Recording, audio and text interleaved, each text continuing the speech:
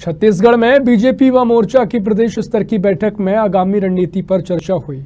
बैठक के बाद भाजपा युवा मोर्चा प्रदेश अध्यक्ष अमित साहू ने कहा कि भारतीय जनता युवा मोर्चा प्रदेश भर में बेरोजगारी टेंट लगाएगी।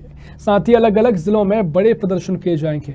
देश कार्य समिति की बैठक में प्रस्ताव लाया गया है। बेरोजगारी टेंट के माध्यम से प्रदेश भर में सरकार के खिलाफ अभियान चलाया जाएगा। वहीं खैरागढ़ उपचुनाव में भी भाजपा युवा मोर्चा की जिम्मेदारियाँ तय की गई हैं।